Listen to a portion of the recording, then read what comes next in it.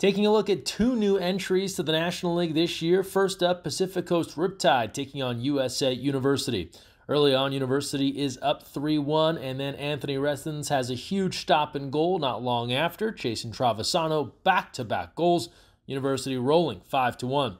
Jake Earhart opens the second for University with this money bar in shot. Then afterwards, Riptide's Edward Shivalovsky saves another University attempt, but then Earhart's back, beating a defender to sink another. It's a 7 1 lead. Moments later, Riptide's Dalton Kennefic gets the assist from Devin Mefford to get the Orange County squad their second goal of the match. They trail 7 2.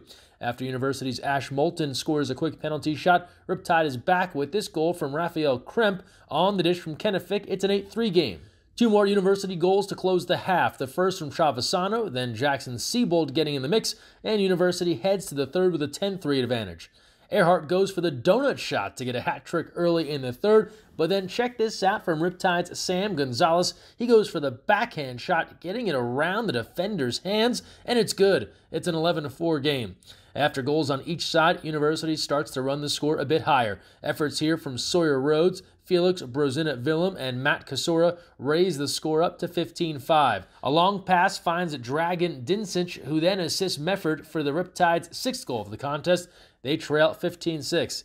Shivalovsky saves a 5 meter shot here, but Moulton follows up with a skip shot. University is rolling 16 6. Chase McCall would deliver one more goal for the new National League squad, but USA University would have two more goals on the day, thanks to Gabe DeSupolo and Molina, and the USA squad takes the win 18 7. Post game, we caught up with Sawyer Rhodes about the win and Brock Gordon of Riptide to discuss his team's National League debut. Yeah, I think we won 18 7. It was a pretty decisive victory.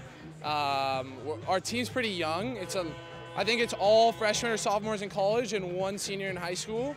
Um, but we have a lot of talent, and I think we're going to surprise a lot of teams. This is like an opportunity for us to play together. A lot of us played against each other in high school and play against each other in college, so it's pretty fun getting to play it with them rather than against them.